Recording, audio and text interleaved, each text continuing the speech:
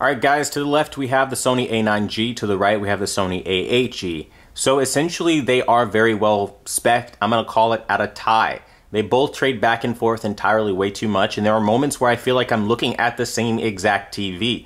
Sometimes the A8G has better color, sometimes the A9G has better color, and I think that kind of boils down to just a difference in white balance and the way that they render color temperature. But ultimately speaking, they are so incredibly similar that to try to say that one is a definitive winner over the other after putting in my calibration, after really using the A8 as a reference monitor to the A9G after calibration and really pulling out the absolute most they can do, they're, they're like very freaking similar, man. It's like they're both Master Series televisions in my eyes with the level of which they're performing because like even as you look at this image it'd be very difficult to tell a difference between the two. Now one of the big things with the A9 has more shadow detail than the A8G.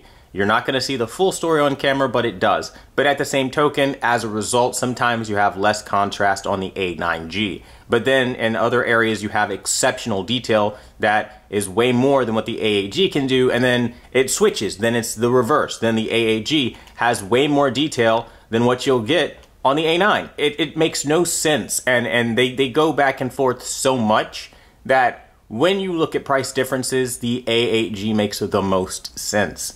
Now, honestly speaking, in terms of peak brightness, the A9 is brighter generally, like when, when looking at gaming and things like that. But when you look at movies, it's way brighter on the A8G, like highlight detail, skin tonalities, the, the, the algorithm is working way better than what it does on the A9. And I don't know why that is. It's very weird that the A8 could be so much better. Guys, I'm not even talking about a little, excuse me here, a little bit better, but like it's a lot better. And, it, and it's kind of like jarring to see like such a staggering difference in performance. But it's believe me when I tell you, when you get to movie watching, it's there. Like even now, the color intensity on the A8G just way better than what I have on the A9G.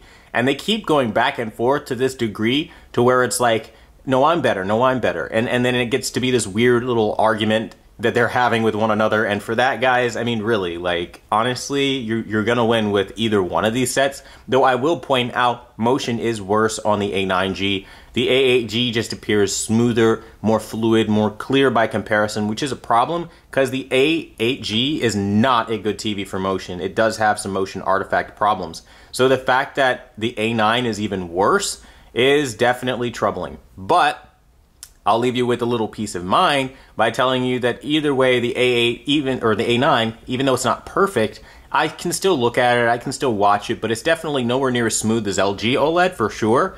Even though Sony likes to hide behind their class leading processing and all that, which is why I don't put too much stock into what they recently announced with their brand new, hot new XR processor. I mean, I, mean, I'll believe that shit when I see it kind of thing because so far from what I've seen from their Master Series has been disappointing and a downgrade from the 2017 X1 Extreme chip. And I, I'm not gonna cap and lie and tell you it's the greatest chip on the on the planet Earth. I feel like it what it what it adds to picture quality, it more than takes away when you start getting to other things. And I think that's a damn shame because you know they had such a chance to succeed, and I'm not seeing them do that on the level like they need to. And it's just really annoying because I feel like they're so close to picture quality that could just blow everybody's mind, but they ultimately kind of jack it up a bit. But that's just kind of what I think there. Now, in terms of price to value ratio, I think, again, it's just too expensive for what it is on the A9 side of things. But if you can find a good deal, then I would not be like hard pressed to tell you to go run out and get one because it's a solid TV. But that being said, the A8G, I mean, if you had to ask me honestly, which one would I prefer? I would still prefer the A8G. The A9 is just not strong enough of a television in my personal opinion as far as just the way that it renders image quality overall.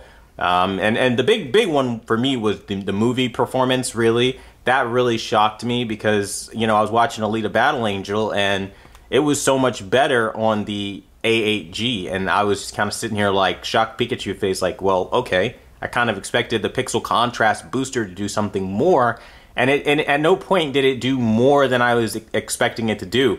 The A8 is keeping up with it. It's more than keeping up with it. It's outperforming it. It's exceeding expectations.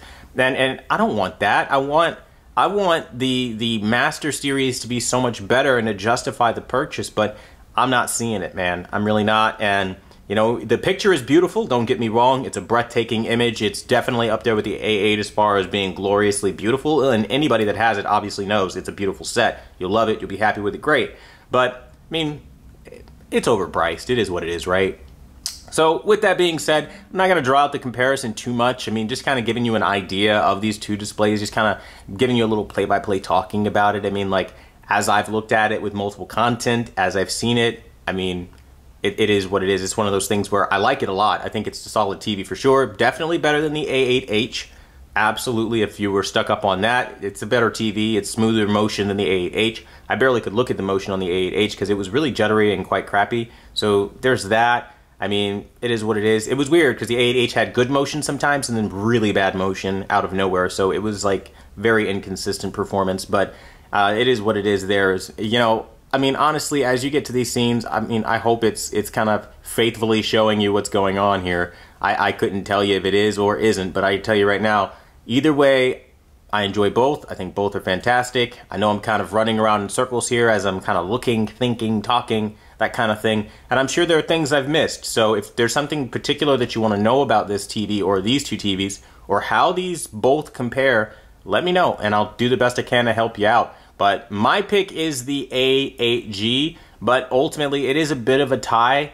It but if I had to pick one, man, if I, I would really go with the A8G, not because of the price or anything, just because like the color and the the overall feeling that I get when I watch the A8G is a lot better. Like I, I see so much more in terms of just I don't know, man. I, it's hard to explain. The rendering is different on the X1 Extreme chip versus the X1 Ultimate chip, and that really is what's selling me more on the A8G. But again, not to drag this on like I keep doing. Uh, until the next video, I'll see you guys later.